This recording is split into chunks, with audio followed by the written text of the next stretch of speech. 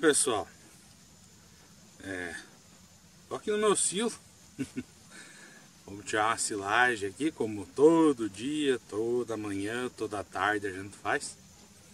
Mas enfim, não é sobre isso que eu vim falar hoje. É, eu vou começar a responder, como eu já fiz ali na, naquela da silagem, eu vou começar a selecionar alguns comentários para me responder em vídeo. E quando eu vejo que tem um comentário ou que tem um assunto é, muito interessante, ou que várias pessoas já me pediram, então eu vou acabar pegando um ali e vou responder aqui para vocês.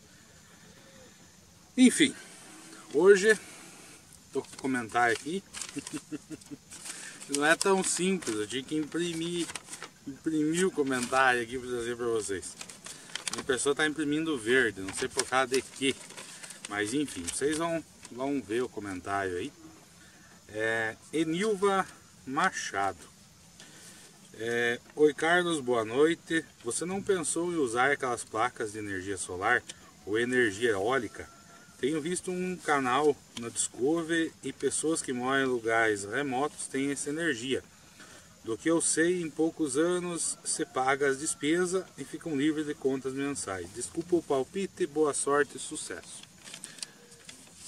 Igualmente para ti, olha como é que eu esqueço fácil dos nomes. Enilva.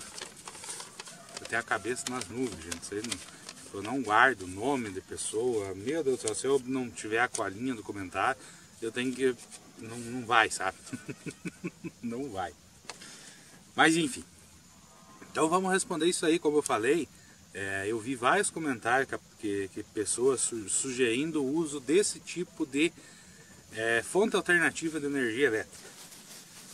É, primeiro, eólica aqui não tem capacidade para isso, vocês podem ver, não tem vento no momento. Então a energia eólica é uma coisa que não. Tem lugares que dá certo, tem lugar que não dá, não é que nem a energia solar. A energia solar é uma coisa que se tem sol ela funciona.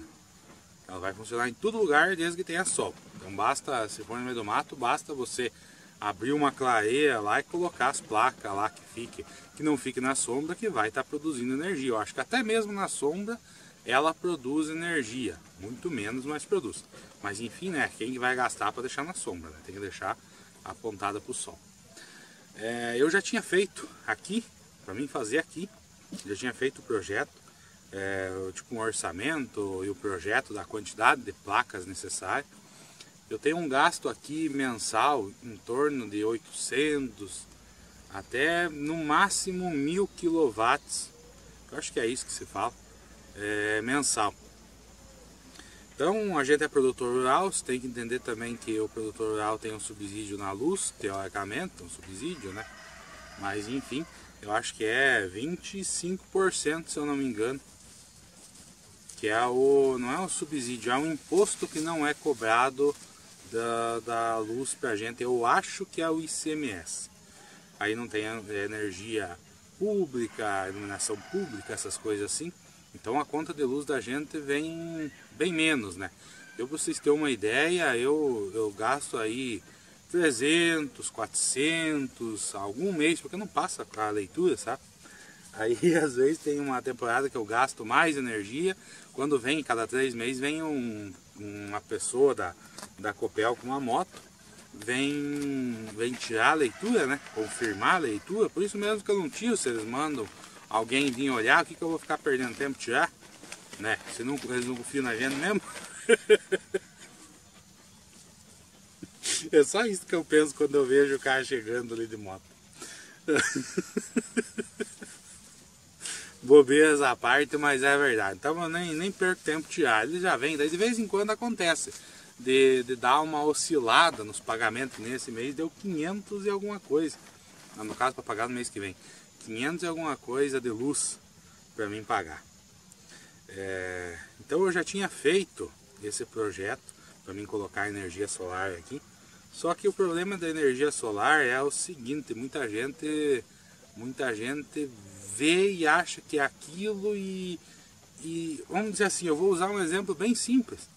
A mãe um dia eu comentei que eu ia colocar energia, estava correndo atrás para colocar energia solar. E daí a mãe falou que eles também queriam colocar, porque estavam de saco cheio de falta luz, e não sei o que, não sei o que, não sei o que, que daí nunca mais ia se incomodar com falta luz. Aí que está o problema. A energia solar que tem aqui, o sistema solar fotovoltaico que tem aqui pra gente, os que eu conheço, os que eu já ouvi falar, das vizinhos, tem alguns vizinhos aqui que já tem, na cidade tem bastante casa que tem, bastante pessoas conhecidas já tem energia solar. É, não é assim que funciona. Se faltar a luz, primeiro você tem que ter a rede da Copel ou da, da tem que ter a, uma, uma, rede elétrica, não, informa, não importa de quem for. É, aqui para nós é da Copel. Você tem que ter essa energia e esse sistema vai ser ligado à energia, à rede de luz. Porque o que acontece? O sol, né? Vamos falar, ó, agora são 5 e pouco da tarde. Aqui onde eu estou não tem mais sol tá meio nublado e tal. Mas o sol, conforme de manhã cedo o sol não é mais fresco, você sai no sol não se queima. De meio-dia o sol não é mais forte, de tardezinho o sol não é mais fraco. Então, é, nesse ciclo, nesse ciclo, essa é, vai produzir menos energia de manhã. Na hora de meio-dia, uma da tarde, duas da tarde, não sei, vai ter o pico de produção de energia e depois vai voltar a cair. O que que acontece? da agora em diante é o horário da gente tirar leite. Né? Então é a hora que a gente vai consumir mais energia. De manhã cedo, é logo que o sol nasce, a gente está terminando, quando o sol sai, nós estamos terminando de, de tirar o leite. Pelo menos agora no verão, no inverno, antes do dia clarear, a gente já terminou. Por causa que o dia fica mais curto. Então a gente sempre tira ali pelas 6, pelas 6 horas, 5 e meia, 6 horas, às vezes até mais tarde. Ultimamente é menos vaca, nós estamos é, começando depois das seis. Mas normalmente a gente leva mais quando tem alguma coisa de fazer e coisas, às vezes antes de clarear o dia já, já terminou de tirar leite. Então quando tem alguma coisa específica para fazer, uma silagem, é, sei lá, trabalhar em algum outro lugar. Hoje a gente tem que sair também, tem isso. Mas enfim. É, então essa, essa energia, não é porque você colocou energia solar que tu vai produzir energia 24 horas por dia. À noite é óbvio que não vai produzir energia, mas daí vem aquela história, ah, bateria. Imagine quanta bateria eu teria que ter para mim manter a minha, as minhas coisas funcionando durante a noite. Tem que ter, levar isso em consideração. Eu tenho um tanque de leite ali que trabalha 24 horas por dia para manter o leite refrigerado. Né? Não é uma coisa que vai funcionar só. Né? Ele tem que estar ali com energia disponível 24 horas por dia. Então é um motor, não é um motor tão forte. Mas será que uma, quantas baterias eu ia precisar para fazer um sistema desse jeito? Eu sinceramente eu vou falar bem da verdade para vocês. Isso é uma coisa que não é muito. A gente não tem muita informação sobre isso. Talvez, talvez até dê certo. Talvez até dê certo, porque o motor mais forte que eu tenho ali é um motor de 3 cavalos, de 3 CV, que é o motor da água. Mas esse é uma coisa que tu vai ligar duas ou três vezes ao dia em um período bem curto. É, já o que a gente mais usa no caso seria na hora da ordenha, o negócio de esquentar água, que daí eu não sei, mas ele gasta um absurdo. Ele gasta muito mais que o motor de 3 cavalos, porque lá tem um negócio que fica piscando no, no, no padrão de luz, né? Então quando liga aquele, aquele negócio, a gente chama de rabo quente, que é para esquentar água, ebulidor é o nome correto. Você liga aquilo lá começa a fazer isso aqui, ó. Você desliga, volta piscar devagarzinho normal. Quando você liga o motor, ele pisca mais lentamente. Ele também, esse motor mais grande, ele pisca mais lentamente, mas me, ah, tipo, um pouquinho mais lento do que o ebulidor. Então aquele ebulidor gasta mais que o motor 3CV. Ele gasta bastante energia. Mas enfim, é, eu tenho um uso de energia em horários que as placas não vão estar trabalhando, que vão, vai ter esses picos de uso, de uso de energia no horário que as placas não vão estar trabalhando. Então eu acho, eu acho, na minha opinião, que não seria viável. E agora outra coisa, eu estou falando de dia de sol. Eu sei que um dia nublado as placas vão recarregar as baterias, coisa assim. Só que, será que elas vão dar conta? E se não der conta? E se não der conta? E se acontecer algum problema com as baterias, acontecer alguma coisa, eu vou reclamar para quem? É isso que eu fico pensando. Então, mas claro, eu estou aqui supondo que essas baterias dessem conta. Eu não faço ideia quanto de bateria que eu ia precisar para mim conseguir botar, é, deixar tocar a propriedade tipo com segurança, tocar a propriedade com segurança. Não faço a menor ideia, não faço mesmo, não entendo disso. Só que por isso que eu vejo que é uma coisa inviável. Então o que acontece? Eu falei, a mãe achava que, que nunca mais ia faltar luz se botasse energia na placa solar. Quando falta luz, as placas solares não vão fazer nada, eu acho. Eu posso estar enganado isso aí, se tiver alguém que mexa com isso, me, me, só me confirme, mas eu acho que é isso mesmo. Faltou luz, as placas solares ali não, ela vai desarmar o sistema, porque elas precisam da energia, dessa troca de energia. Basicamente é assim, ó. Tu vai continuar usando a energia do poste normal, eu acho. Tu vai continuar usando a energia do poste normal e essa, essas placas solares que você vai colocar, elas vão mandar a rede. Elas vão mandar a rede. Eu acho que o sistema é quase esse. O sistema é quase isso.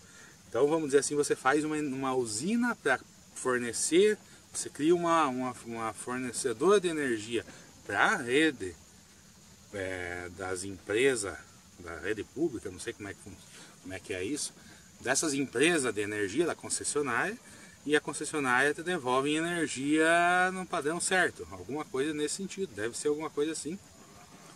Então você precisa ter uma luz, uma energia elétrica da concessionária instalada na propriedade para você montar um sistema fotovoltaico. E é isso que muita gente não sabe, é isso que muita gente não entende. Como eu falei, é o que a mãe ali, a mãe ali me, me questionou. Não, né, eu, eu, eu já tinha conversado com, já tinha conversado sobre isso, já tinham me explicado. então é, uma, é complicado, sabe? Por mais que eu gostaria assim de fazer, como eu falei, eu já fui atrás, já fiz até um projeto, mas claro que o projeto é válido. O projeto não, o, o, o orçamento é válido por uma semana, eu acho. Ah, essas variações de coisas são, é coisa importada, sabe como é que funciona? O dólar estava na época, foi bem no começo do ano ou final do ano passado. Hein? O dólar estava aquela bagunça de sobe e desce, aí é, né, nem eles conseguiam segurar o preço para mais tempo, tinha que valia por uma semana o negócio, né?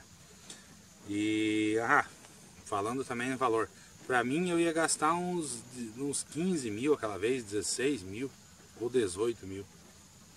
16 ou 18 mil para mim colocar energia energia solar aqui para o que eu preciso. 16 ou 18, acho até que é 18 mil. Então não é um valor absurdo se você for parar para fazer a conta assim, ó. Aí eu gasto 400 reais por mês. São 4.800 reais por ano. 4.800 reais por ano. Basicamente aí em 4 anos, deixa eu ver, 4, 8, 16. 1.600, 17, 600, 18, 19, 300, é, é, enfim, basicamente com 4 anos, não, agora eu tenho que fazer essa conta, 1.600, 3, 15, 6, 7, 18, é 18 e 18 e 18 e 200. Nossa, minha matemática tá uma loucura, tá falhada. 18 e 200.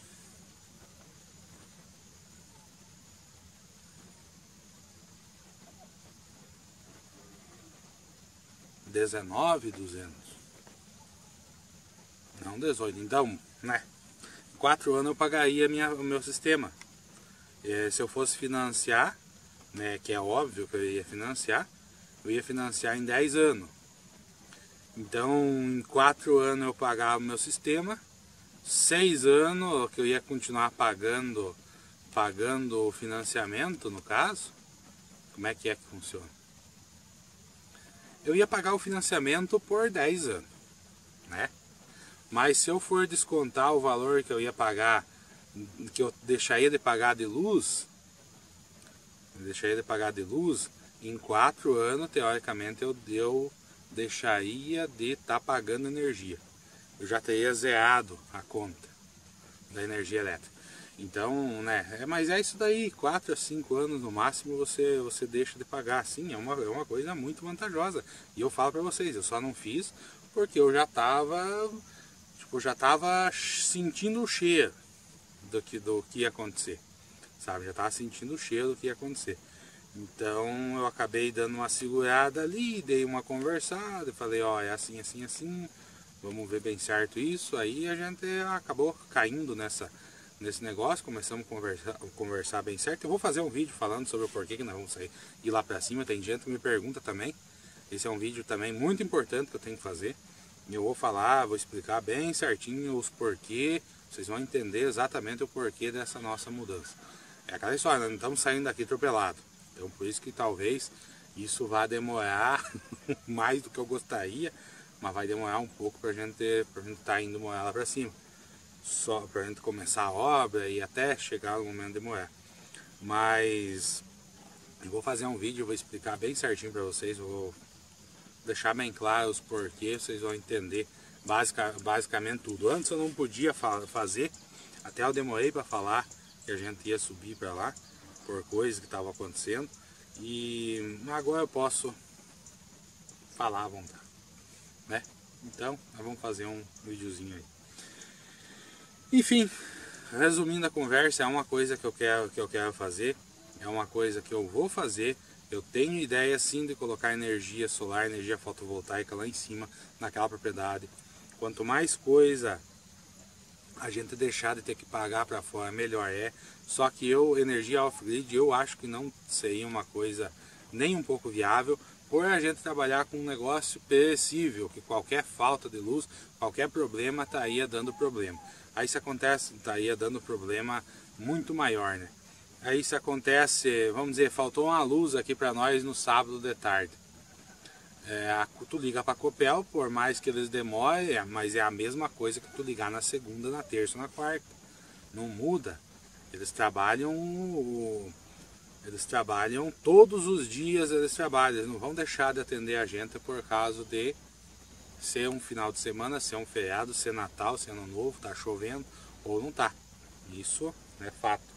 Já, se eu fizer um negócio desse, eu vou estar tá dependendo de ah, talvez de algum comerciante, alguma coisa assim. E daí, será que eles vão me atender no final de semana? Será que eles vão me atender de noite? Eles não, não acho que esse tipo de gente não trabalha dessa forma. Então eu não posso ficar à mercê do horário comercial ou a da sorte de não, não dar uma falha, não dar um problema nesse, nesse sistema e perder o leite, perder o que eu tenho ali.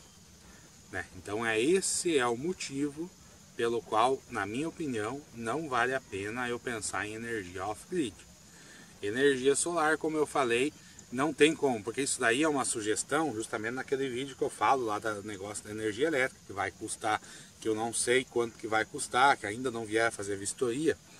Então, é, já que é uma, é uma sugestão, a, a uma opção a não usar a energia, a rede de, de luz da Copel mas essa opção não existe. Eu, de qualquer jeito eu vou ter que ter a rede da Copel instalada na propriedade. Não importa se custar o gato, se custar o que for, eu vou ter que fazer, eu vou ter que esperar. Eu acho, se, se eles me falarem em custar, eu vou fazer o que foi sugerido no próprio vídeo. Teve gente que sugeriu ali, eu não tinha parado para pensar nisso, mas isso é uma coisa tão óbvia, né? Tão óbvia. Se eles fazem de graça até 100 metros, eu coloco porcaria do padrão em 100 metros e eu puxo a minha rede até na casa inteira, eu faço uma rede subterrânea ou puxo com posta na casa. Pronto, resolvido. Sabe? Eu não vou pagar. Eu não vou pagar valor absurdo para a. E outra coisa, aquela terra não tem, nunca teve luz naquela propriedade.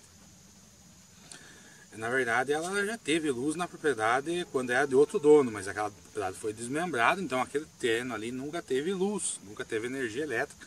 Nunca teve um padrão nesse terreno, naquela matrícula que eu tenho. Naquela matrícula dessa terra que é, que é do pai. Então, nem que eu tenha que ir na justiça, nem que eu tenha que ir na justiça, mas eu não vou, não vou pagar. Não vou mesmo, não vou mesmo. É, se nunca teve energia, eles vão ter que colocar de graça sim. Vão ter que colocar de graça sim. Mas isso ainda eu não sei, eu não estou aqui difamando ou falando mal. da, da empresa ou coisa assim. Eu só estou supondo no pior, na pior das hipóteses é isso que eu vou fazer. Na pior das hipóteses, pode ter certeza que essa vai ser a atitude. Eu, eu desse cara de vinho, acho que é cinco dias útil, no, no sábado de tarde veio um e-mail lá que foi registrado o meu pedido de energia elétrica, tá, tá, tá, tá, tá. veio o e-mail lá confirmando e lá estava escrito que eu acho que é cinco dias útil para eles virem fazer essa. O prazo deles é cinco dias útil. Então se foi no sábado, segunda, terça, quarta, quinta, sexta. Provavelmente ou, ou sexta ou na semana que vem. Ou na semana que vem eles vão. Alguém vai aparecer aí para fazer a, a vistoria da, da parte da, da energia ali. Se vai, do que vai precisar e tal. E daí eu acho que tem mais alguns dias para eles me passar o orçamento. Mas se eu tiver custo eu não vou só que daí eu vou ter que pagar para eles lá, vistoria, vou ter que pedir, fazer outro pedido. Mas eu não vou pagar não, mas não vou mesmo. Esses diabetes tem dinheiro a dar com os pés depois de quanto tempo que eles, quanto que eles vão lograr a gente, claro que, né, que eu vou botar energia, energia fotovoltaica ali, eles já não vão me lograr muito não. Mas enfim, né? Quantos anos faz que eu, que eu, que eu uso energia elétrica aqui? quantos mil reais que eu paguei para essa copel, né? E eu não vou, e eu não vou pagar para botar de luz, pagar para ser roubado. Infelizmente a gente a gente é totalmente dependente da energia elétrica e dos produtos, dos equipamentos que são movidos a energia elétrica. Então é uma coisa que se tornou se tornou parte da gente e a gente não consegue. Quando falta luz, a gente fica tudo perdido. Sabe? A gente fica tudo perdido, não consegue fazer nada. Enfim, é isso. Eu acho que eu me enrolei, eu acho que eu prolonguei demais esse vídeo. Se você assistiu esse vídeo até aqui, ó. Show de bola para você que eu faço esse tipo de conteúdo, porque olha que eu falei. Deixa eu ver ali, eu acho que deu mais de 20 minutos falando aqui para uma perguntinha pequenininha ali. Enfim, eu vou tentar responder algumas, pelo menos um vídeo por semana respondendo perguntas é, que eu vejo nos vídeos. Eu realmente, é, eu não tenho tempo de responder todo mundo, mas eu estou sempre lendo os comentários. A Ju também está sempre lendo os comentários, ela tem mais tempo de responder do que eu, mas é assim mesmo, é assim mesmo. Estamos aí nessa empreitada e vamos levando, vamos levando, vamos trazendo conteúdo para vocês todo dia, todo dia, todo dia, porque essa é através disso daí, através desses conteúdos, através dessas coisas que eu vou começar a fazer a minha casa lá em cima, que eu vou fazer isso daí, já que é, vocês veem aí pelas, pelo que a gente mostra, a nossa vida no interior ela não é tão fácil assim não. Ela não é tão simples assim não. E graças a Deus eu consegui uma fonte de renda alternativa a, a depender só do chão. A depender só do chão. Nós estamos numa seca complicada aqui, vocês não fazem ideia do, do tamanho dos transtornos. Eu, eu pensando até, vou, eu acho que até vou fazer um vídeo sobre isso, mas eu tô pensando até em me desfazer da boa parte das minhas vacas, porque eu acho que se as previsões se concretizar, eu não sei o que nós vamos, quantos meses nós vamos ter de comida para as vacas. Sabe, infelizmente é a nossa realidade aqui. Isso não é a realidade minha, isso é a realidade de muita gente aqui na região sul. A gente não está acostumado com essas secas mais. E o preço para comprar está um absurdo, nas roças não está produzindo, não está chovendo, os pastos estão secos, os potreiros estão secos e a expectativa da gente é bem baixa. Mas enfim, vamos que vamos. Outra coisa, tem um, já tem um comentário imprimido lá em casa que eu vou responder no, no próximo, próximo vídeo que eu gravar que é justamente sobre isso, justamente sobre as pessoas que acham que, é, às vezes, seduzidas por alguns canais que mostram que a vida na roça é uma alegria, que é, uma, que é tudo de bom, acabam querendo mudar de vida e ó, acabam tomando rabo. Porque isso aqui não é para não é para amador não. Mas eu vou falar, vou fazer um vídeo, vou falar bem certo isso aí para vocês.